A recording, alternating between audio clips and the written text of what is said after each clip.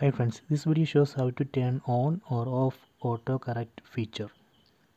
Open Messages app, tap on this icon, then tap on this plus symbol on top right corner, then tap on this symbol,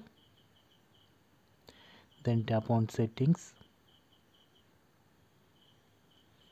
then tap on Prediction.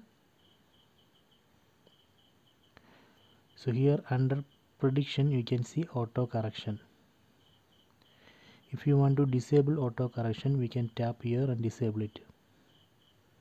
If you want to disable prediction we can tap here and disable it. Now I disabled both auto correction and prediction.